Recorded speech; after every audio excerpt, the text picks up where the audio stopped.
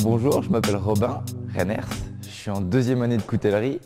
Je viens de Belfort, donc du 90, et la coutellerie c'est une passion pour moi. Depuis que je suis en cinquième, je sais ce que je veux faire. Donc euh, je suis parti en ébénisterie, donc j'ai fait ma quatrième et ma troisième.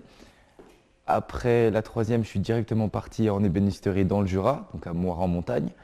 J'ai fait mon CAP, un CAP en deux ans, donc j'ai eu une mention.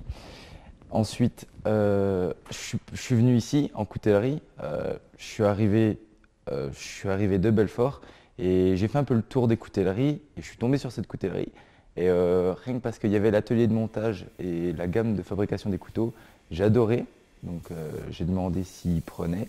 Donc euh, il y a eu premier entretien, deuxième entretien. Au final, ça s'est fait. Je, gère exclusivement l'atelier de montage. Donc l'atelier de montage, c'est des visiteurs qui viennent et je leur apprends à monter le tiers en une heure et demie. Donc je leur apprends à le monter et ensuite ils peuvent me regarder le façonner et je leur ramène ici au comptoir et, et je leur donne voilà, leur couteau gravé.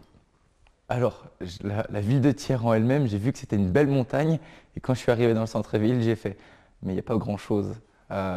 Euh, les, coutelleries, c'est bien, mais après, quand on va dans le, centre même, il y a beaucoup de trucs, euh, il y a beaucoup d'immeubles où il n'y a plus rien. Et euh, ça, c'est un peu dommage parce que la ville de Thiers, sur ce coup-là, elle était un petit peu en perdition, mais là, avec les couteaux, ça, ça l'a relancé. Donc, si, c'est bien Thiers. Étant donné que ça caille chez moi, je vais rester ici je vais rester ici parce que j'ai mes collègues, j'ai il y, a plein de couteaux, voilà. Donc euh, ça, étant donné que je suis collectionneur, euh, forcément que je vais rester ici.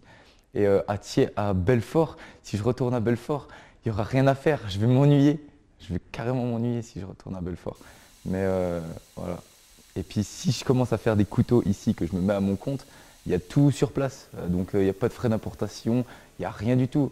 On, fait, on fait un kilomètre, on a les fournisseurs de bois, on fait 500 mètres, on a les fournisseurs d'acier, donc il y a tout sur place. ça c'est le bonheur.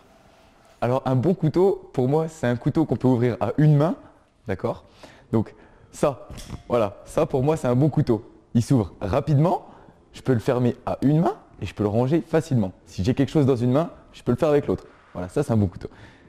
Voilà. Donc par exemple, nous ici, on a le tiers liner pied monté. Donc on a juste à faire comme ça et il est ouvert. Ça, c'est un bon couteau.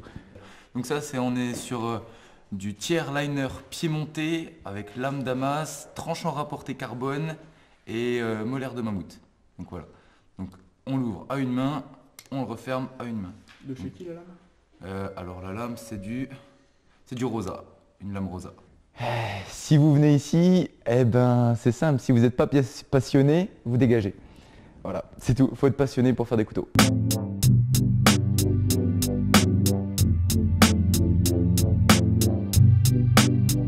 Non, je me marierai pas. je ne me marierai pas. Ça, c'est mort. je préfère garder mes couteaux pour les investir dans ma collection.